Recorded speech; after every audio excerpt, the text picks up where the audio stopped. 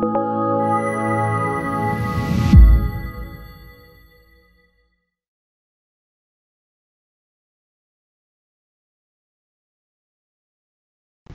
I'm Jacob Hornberger, president of the Future of Freedom Foundation, and this is this week's issue of the Libertarian Angle, the show that brings you the libertarian perspective on what's going on in the world. And I'm joined, as I am every week, by Richard Ebeling, the BB&T Distinguished Professor of Ethics and Free Enterprise Leadership at the Citadel. Richard, good to see you again. It's good to be with you and our viewers and listeners as always. A pleasure. And to be able to wish them a very soon Merry Christmas. Yeah, Merry Christmas to everybody. Uh, Richard, okay, big news. President Trump is threatening to close down the government if he doesn't get his much be- uh, beloved Berlin Wall. I mean, that he doesn't call it that, but that's really what it is. And he's he's been dreaming of this wall, maybe even before he became president. He he said that he was going to make the Mexicans pay for it, but now all of a sudden he's he's hell bent on making the American taxpayers pay for it. And so he's telling Congress that if you don't give me the funding for my beloved wall here, that I'm going to shut down the government.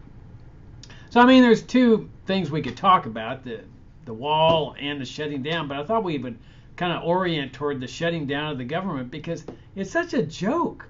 I mean, how many times have we gone down this road, Richard, where, oh, the government is supposedly shut down and all the non essential workers go down? I, I think that it's illegal to call them non essential now because at one time when they called them non essential, they all had to go into therapy.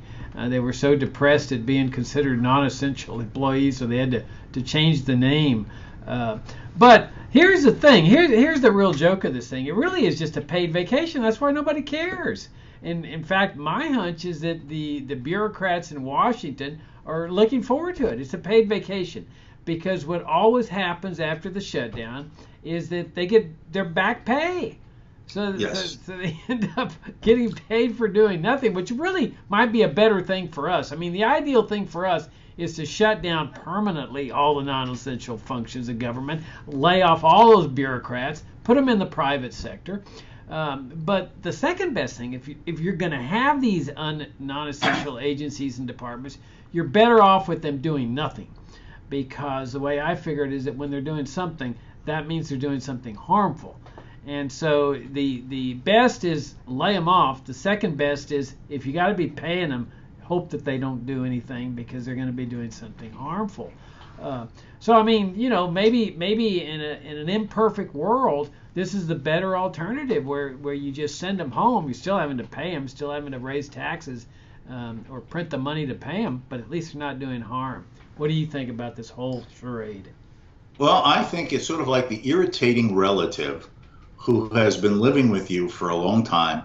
And finally, since you're having to give him room and board and pocket money anyway, why don't you just pay him to go away? At least it's still costing you the same amount of money, but he's not irritating you under your household. So, in my opinion, it's like it's it's like an extortion racket. You pay the guy not to bust up your business. So fine, if we pay them their salaries while they're furloughed like this, at least for every day that they're not sitting at their desk, as you were suggesting, they're not regulating, snooping, controlling, manipulating, irritating, doing something to make our lives less comfortable and, and, and less profitable. So, as far as I'm concerned, this is great. But of course, this is all a sham, as you were also saying. Not only that the government doesn't go away, but notice how they express it. And what you're saying is perhaps the politically incorrect phraseology, you know, non essential personnel. Though I have to say that after the, the, the, the, shutdown in the 1990s, there was a political cartoon that I loved. It was a government building with a huge banner in front of it Welcome back, non essential personnel. That makes you feel good. so, what the thing is, is that the, the, the Congress has passed a huge amount of, of the tax bills and the appropriations for the coming or the current 2019 federal government fiscal year, which began on October 1. So, at the most, at least as some of the commentators that I've read have said, it's going to be one fourth of the government. The, the, the, the, military is staying there because, by golly, we have to protect America. Uh, the the FBI is still there. Uh, the IRS is still there. All of these agencies that are the most the most likely to irritate us, you know, this with surveillancing, snooping, regulating, controlling, taxing, they don't go away. Uh, so this is just a sham thing. Now, what may be done, as has happened in the past, well, I guess we're going to have to shut down the Washington Monument. I guess we're not going to allow access into the Grand Canyon. But it's Christmas week. Who the hell would be going on a vacation to the Washington Monument to the Grand Canyon anyway? So they're going to all, everybody who would be irritated, oh, they shut down the Lincoln Memorial, they're going to be with their relatives anyway. So it's even more of a sham. So th- th- this is just you know smoke and mirrors and and and, and stage uh, effect uh, for, for and pablum for the masses. Uh, and this all came about because I'm sure many of our viewers and listeners might have seen that news clip when President Trump was recently in the Oval Office with with with, with, the two Democratic leaders, uh, uh, Nancy Pelosi and uh, I try to forget his name. What is his name? Schumer. Schumer, thank you. And they got into the into, into the shouting match, and then finally Trump says, "I proudly take the shutdown as mine because security is more important than a shutdown." And the Republic and the Democrats say, "Yes, yes." And Pelosi comes out. You see, it's just it's just a, a, an issue of his manliness, manliness, because you know he's concerned concerned with having something built that's huge, huge. De- wait a minute, it would be along the Texas Mexican border, right? Isn't Rio Grande? Doesn't that mean big anyway? It's huge. So I guess maybe she's right. But anyway, so this is all a sham, smoke screens. It's it's good 15 second news bites on the evening news. But the fact is, the government remains in place, doing the things that are non-essential, in far my opinion. And how do I find, define non-essential? Nothing that is not a federally designated and assigned function in the original Constitution, which means non essential, in my humble opinion, is at a minimum 90% of what the federal government does today. So this is this is nonsense and it's just show. Yeah, you raise a very interesting point though that that really distinguishes libertarians from the rest of society, well, from conservatives and liberals and and that is that what is non-essential? What does that really mean?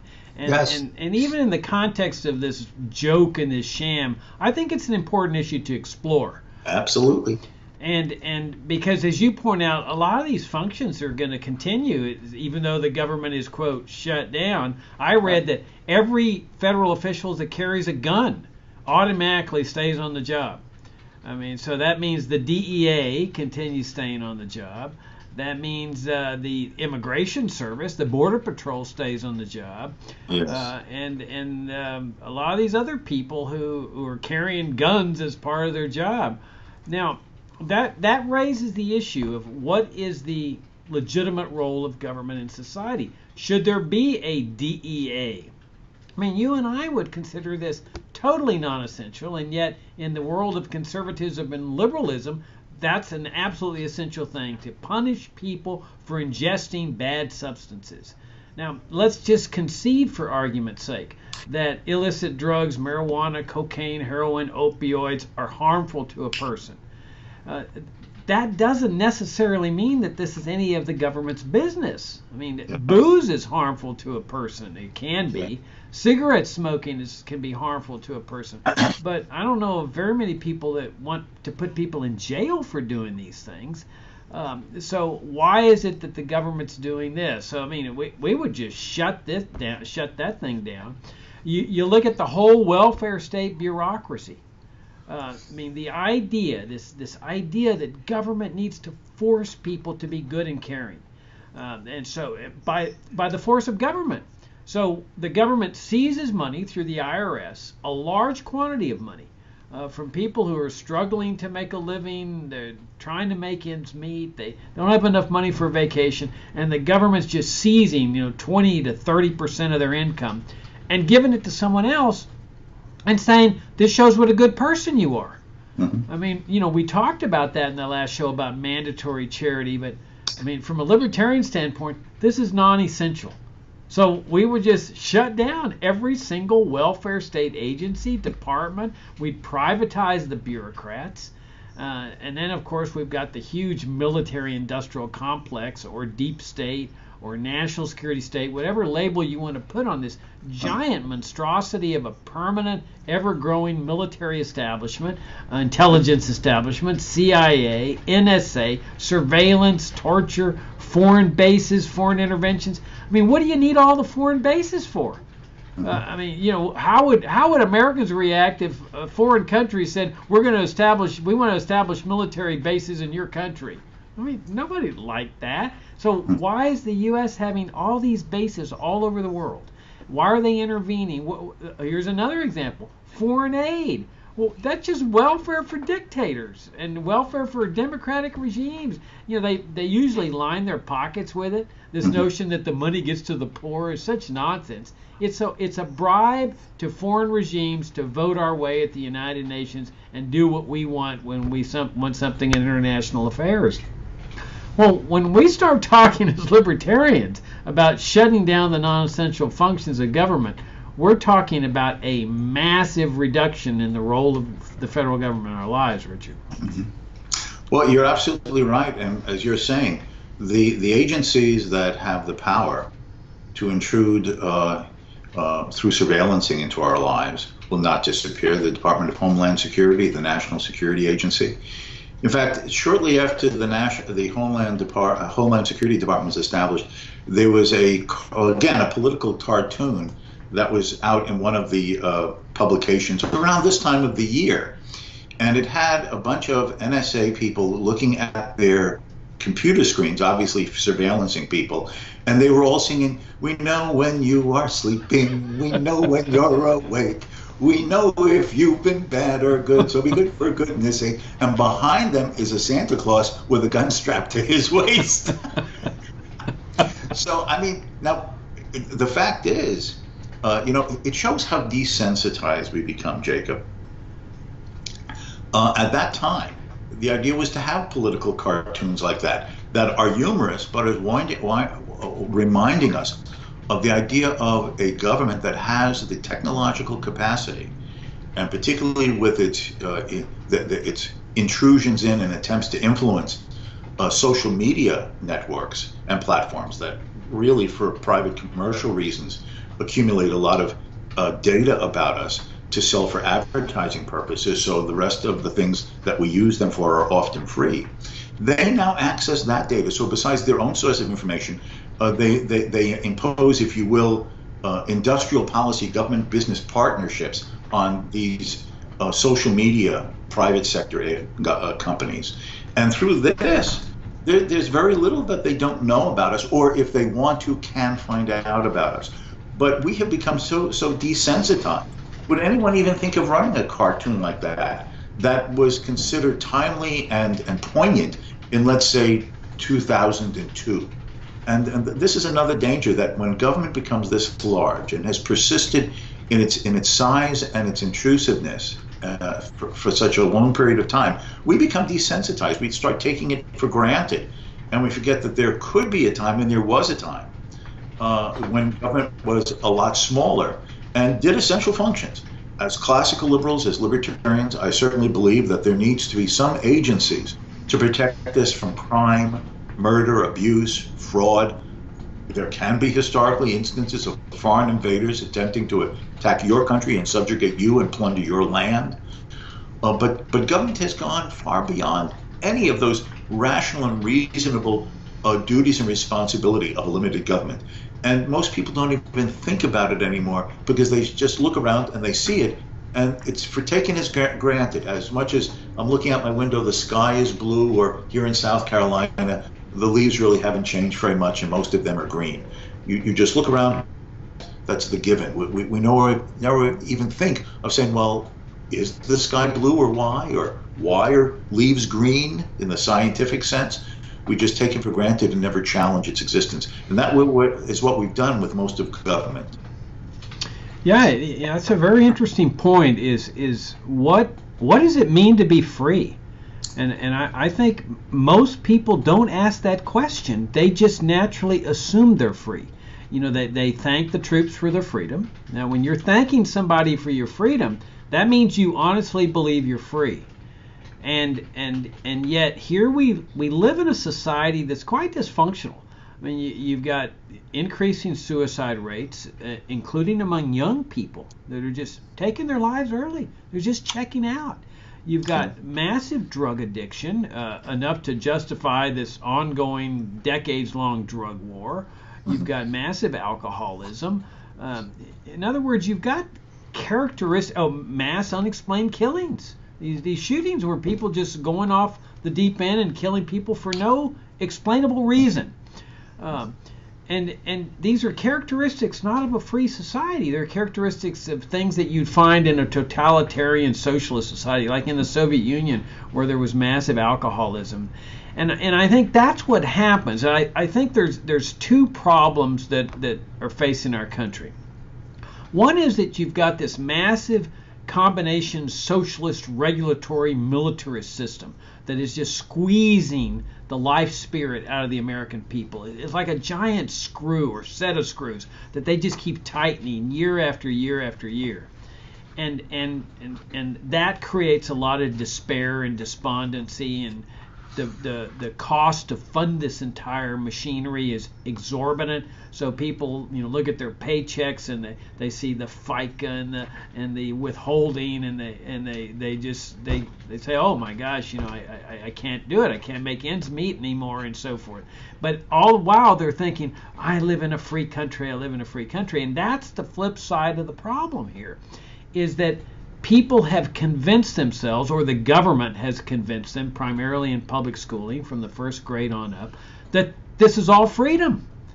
And and so I think what happens is I think any psychiatrist will tell you that when you believe something to be true and you're convinced it's true and it's not, it's not reality, it develops a psychosis within you. Uh, you're just denying reality. You know, my favorite quote I think of all time is is Johann Goethe where he, this quote really sums up the plight of our fellow Americans. Goethe said, None are more hopelessly enslaved than those who falsely believe they are free. Uh, I mean, so if Americans understood, as we libertarians understood, that a welfare warfare state way of life is not freedom, they might choose it anyway. They might say, okay, well, I want to be taken care of by the government. I, I like the being a ward of the state. I like being dependent on the government. Fine. Uh, that's different from a person that says, "Oh, I am so grateful that the welfare warfare state has brought me freedom." You know, it, it's sort of like serving Caesar and saying, "Caesar, Caesar, I never knew freedom till I came to serve you." Um, now, if, if you look at, at, for example, America's founding principles, we know that those Americans defined freedom as something different. Uh, now, we, we have exceptions. We have slavery, we have tariffs, Women didn't have the right to vote. We all know that. But we set those aside and we look at these other principles that were embraced throughout the 19th century that were defined as freedom for a group of people. They're American citizens, white citizens. Uh, no income tax. They were free to keep everything they earned. No Social Security, Medicare, Medicaid, foreign aid to dictators, or any other welfare. Uh, there's no welfare state. You kept everything. You made. You decided what to do with it. All charity was voluntary. There was no Federal Reserve. Uh, there was a gold and silver coin standard. No paper money. Uh, there was no standing army, great big military industrial complex, no foreign military bases, no foreign wars, at least in, in, in Africa, Europe, Asia uh, no CIA, no NSA, and this no drug war, no immigration controls. This is a remarkable society. It's totally different from the kind of society we live in today. And those Americans throughout the 1800s defined that as freedom. That's what they were celebrating when they would celebrate the 4th of July. That is a, a way of life that's totally opposite from the way of life we live, Richard. And so you, you, you have to ask yourself is all of this dysfunctionality in American society, one, because we abandoned those founding principles, and two, because all too many Americans just cannot bring themselves to acknowledge that abandonment. Well, I think that your your idea of uh, people's in the normal sense of what we mean by addictions, alcohol, drugs, um, psychological depressions, and perhaps this has to do with an institutional setting of the interventionist welfare state that has made life seem less possible, fewer opportunities, more fatalistic. But if I can just complement that with another notion of addiction, and that is so many people in our society who are addicted to the government redistributive programs, Social Security, Medicare, Medicaid, unemployment insurance, government subsidization of the education of their children from K through even a PhD, depending upon the uh, uh, uh applicability grant or loan. Uh, let's take the recent court decision in Texas, just what, what was it last week, where uh, a judge declared that because Congress had repealed the mandatory premium payment under Obamacare, that this makes logically all of Obamacare unconstitutional.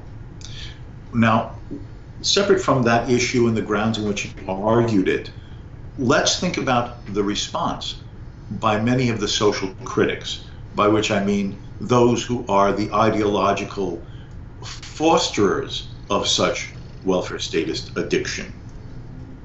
And this is for a program, Obamacare, that has been in effect for less than 10 years.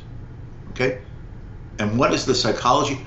How will people get by if they don't have their government guaranteed health care program under Obamacare? What will happen to their preconditions? What happens if their little son Johnny gets sick? And Johnny is little and 25 years old. And, and, and, see, this mentality how can I get by if the government doesn't take care of me? This was captured in a government prepared and posted cartoon during the Obama years called The Life of Julia. Now, when I first saw this on YouTube, I thought it was a satire because how else could you think of it if you think rationally? But this was the government under the Obama administration. Here's Julia as a little girl. Government's paid for the medical expenses for her birth in the hospital. Here's Julia's mommy going to work without a husband in the household. So the government is paying for daycare so mommy can work. Here's Julia going to college and without government financial support and anti discrimination laws, how could Julia ever get a degree? Here's Julia in the workplace.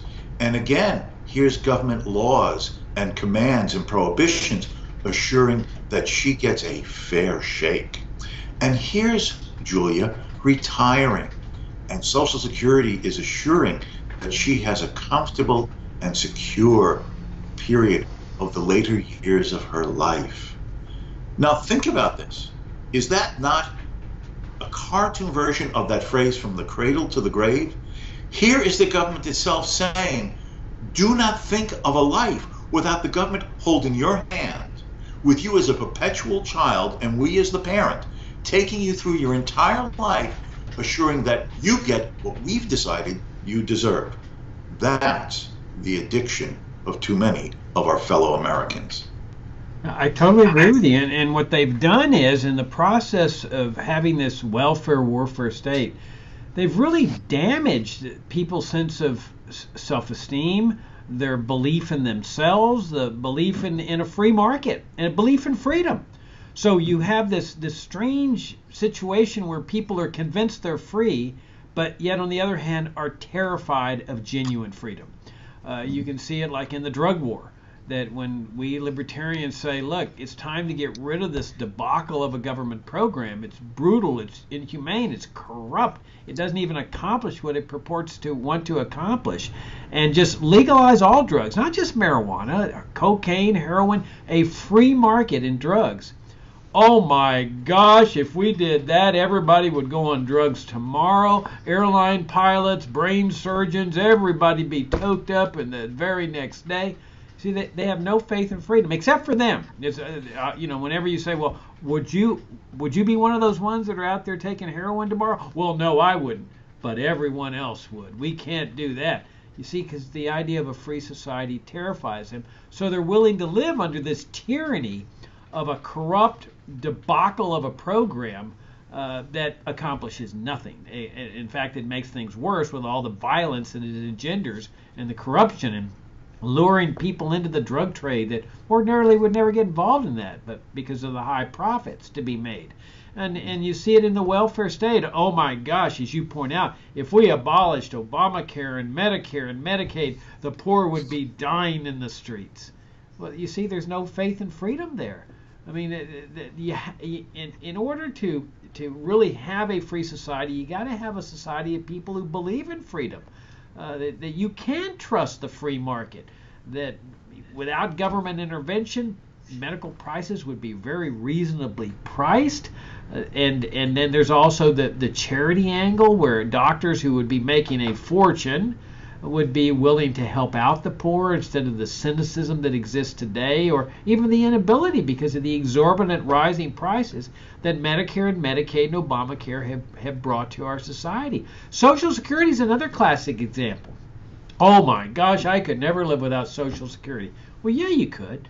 Uh, there's very few people that cannot manage. I mean, okay, there's somebody you know dying in the cancer wards, but charity always comes through and helps those kind of people. That's what faith and freedom is. It's it's a faith in in belief in others that people will come through to help out those that are genuinely in need. But but you know, God has created resilient human beings. Without Social Security, it might be that some people might have to go back to work. But there's nothing wrong with that. Somebody 72 working at Walmart or whatever. I mean, I, I, I over the weekend I saw this movie with Clint Eastwood uh, where he's playing a drug mule. True story. And the guy is Clint Eastwood's 88 years old, and he's he's out there, you know, obviously having the time of his life, still working. Well, there's a lot of people into their 70s at the very least that could still continue working, staying in the mainstream of life, uh, interacting with younger people in the workplace and so forth, and uh, don't necessarily have to be living off this dole. And then, of course, there's a lot of wealthy people that don't even need the money.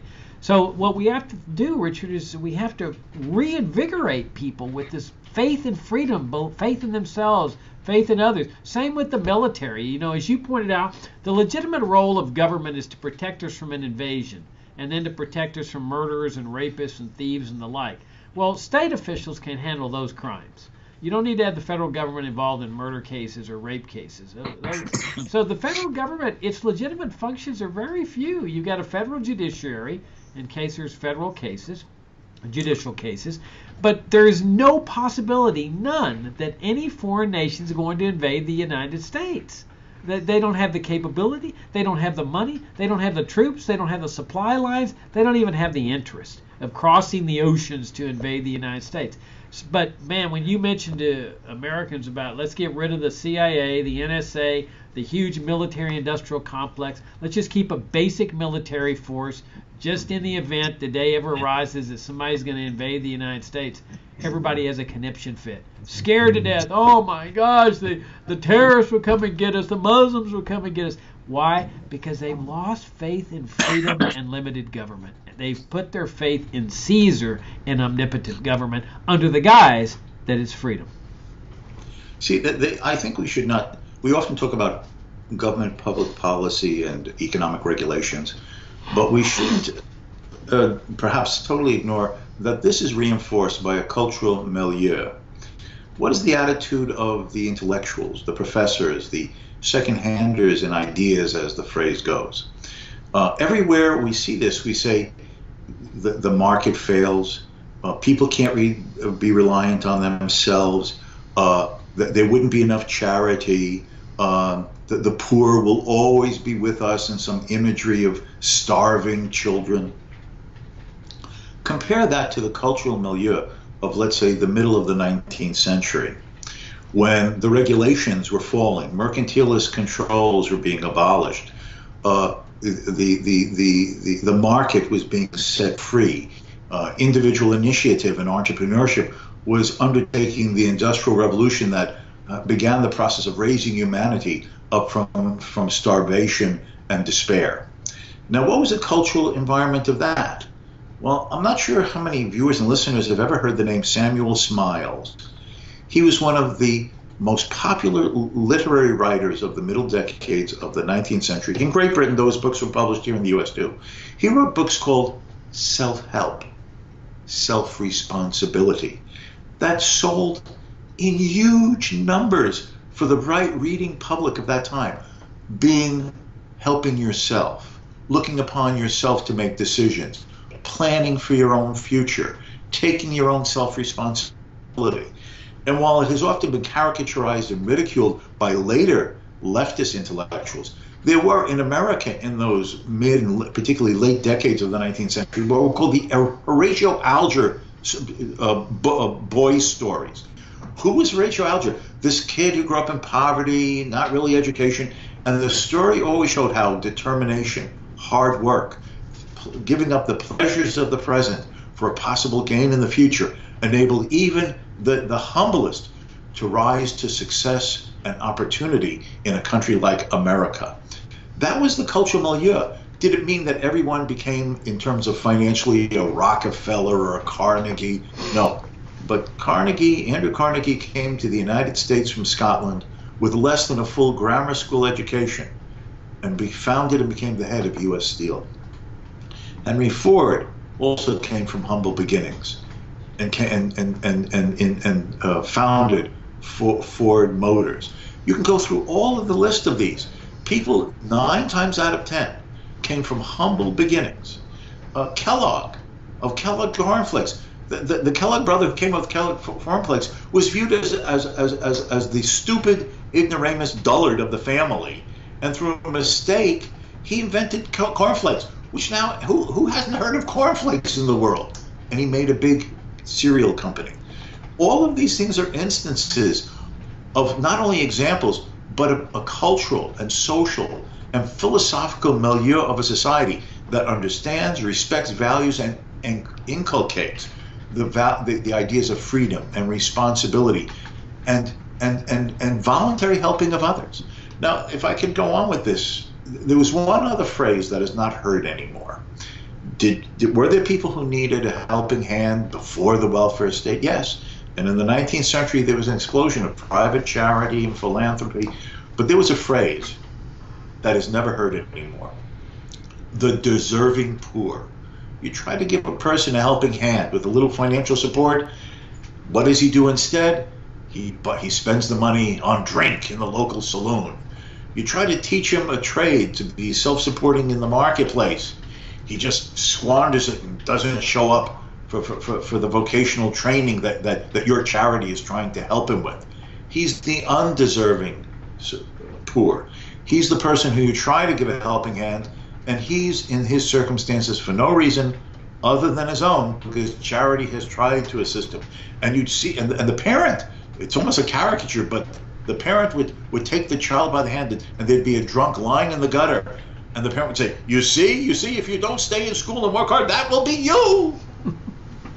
that sounds harsh.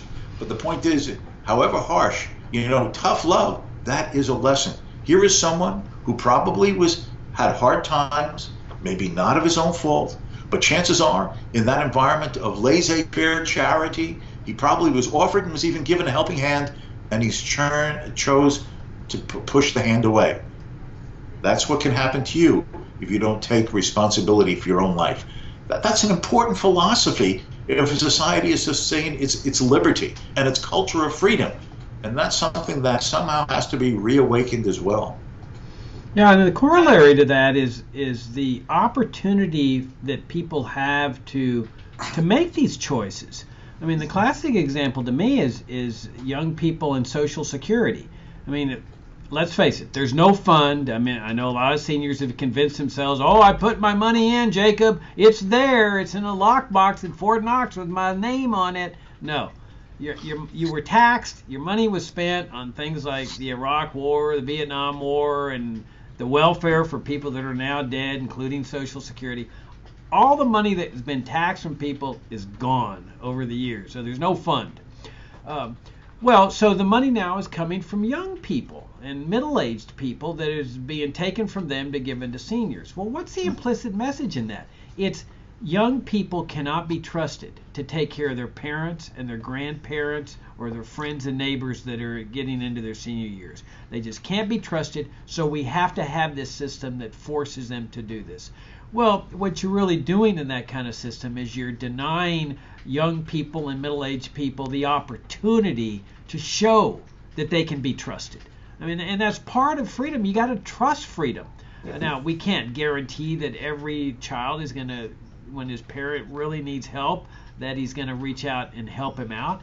But then that's where community groups come in and church groups and so forth. But you cannot deny people the opportunity to, to do these things.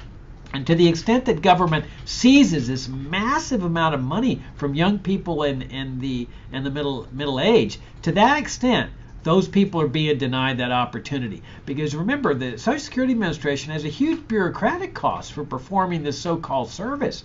I mean, huge salaries to, to bureaucrats, the administration costs, the bookkeeping costs all that money could be sitting in the in the hands of young people and middle-aged people that would be available to help out the elderly, their parents, their grandparents, or their friends and neighbors in need in the community. So I think that's another aspect of this is the destruction of the opportunity that people would have to to reach out and help out others. But on that yeah. note, Richard, you want to make well, one yeah. comment? No, no. well, I would just like to say something. I know what you're saying that we've come to the end of our show. But uh, Jacob and I are taping at this uh, a few days before Christmas. So the end of the year is quickly approaching. And uh, I know that he probably was going to say something, but let me say it first. Uh, I've worked with the Future Freedom Foundation now for almost 30 years. And I've known Jacob Hornberger for even longer than that. And at this time of giving, if you believe in liberty, if you care about freedom, if you would like to have an outlet that fosters and cultivates the principal defense of human liberty, human dignity, and the free society, I cannot more strongly recommend and ask you, beseech you, to think of a contribution to this organization. What kind of outreach does it reach? Well, there is the Future Freedom monthly publication, which used to be Freedom Daily, for which I happily and and, and, and, and privilege wrote for for many years. There are the books, both printed and online, that the Future Freedom Foundation has published now since virtually its beginning in the early 1990s. Uh, and to give one example of this, um, I had written a long series of articles in the foundation's monthly publication uh, dealing with uh, monetary and central banking issues which uh, then FFF published just a few years ago as an ebook called Monetary Central Planning and the State. Uh, what kind of outreach does this reach? Well, obviously, and I can uh, happily say and modestly say, uh, for the first six months after it came out, it was among the top 10 in two of Amazon's ebook categories. But just recently, that book has been translated into Chinese, and I was informed today uh, in a, a Facebook notification that it has now been published in China by a reputable Chinese publishing house in Beijing and will be in stores to potentially a society that has a population of 1.3 billion people. Now, it would be a miracle if even one tenth of 1% ended up reading it in China. But even that would be a lot of individual human beings. Now, it's not a matter of it being my book, but those are the kind of ideas that has been made possible to be reaching the public through the efforts of the Future Freedom Foundation. And I would call upon you, I would ask you, and I again would beseech you to think of this organization when it's time for your end of year giving. Uh, thank you, Richard. You know, Richard and I met many, many years ago in Dallas when I was practicing law, and Richard was teaching at the University of Dallas. And we immediately recognized uh, this was back in the, the mid 80s, and we immediately recognized that we were on the same wavelength. Uh, not only on this uncompromising uh, promotion and advancement of libertarian ideas, but also in the power of ideas. Uh, that you know, okay, we, we are living in a in some dark times here in terms of government oppression and tyranny, uh, the the welfare warfare state, uh, the, the the lack of freedom, the destruction of freedom. Um, but one never knows what tomorrow can bring. You, you, you can't ever lose hope or faith, and that is what ideas on liberty can do. Now, they have to be sound ideas on liberty. You can't just put out some bad ideas and think, well, people will figure it out. No, you got to put the sound ideas, and that's why we've always presented this sound, uncompromising approach to, to libertarianism, because we believe not only is this the moral case for freedom, but it's the practical case. It works. Freedom really does work. And we can't do our work without those of you that help us out. Richard was with me here at FFF from the very beginning in 1989, and he was writing a monthly article for Freedom Daily, which has now become Future of Freedom. And we we we made it because there were those of you that helped us out with end of year donations. Your your money that you send us now helps fund our activities for the coming year, and it it funds things like this, the Libertarian Angle and Future of Freedom, and the conferences and seminars and video presentations. Uh, so you help us get this message out there, and that's the only way things can shift. It's only through the power of ideas that's that people's minds shift, like they shifted with me and many other libertarians, and then all of a sudden it, it something ignites that nobody can anticipate, and it spreads like wildfire, and all of a sudden you see one of these massive societal shifts that take place periodically in history. So we would greatly appreciate your support. You've kept us going for 28 years now, and uh, we sure need your support for another year. So thank you very much for your consideration. Richard, thank you for your kind words, and thanks for the enjoyable show. I had a good time again with you. And let me just say to you, and of course our viewers and listeners, a most Merry Christmas and a Happy New Year. And we will see you again for more Libertarian Angle in 2019. Yep, Merry Christmas to y'all and Happy New Year. We're going to be skipping uh, Christmas week, and we'll be back to you after New Year's. Richard, Happy New Year and Merry Christmas to you. And to you.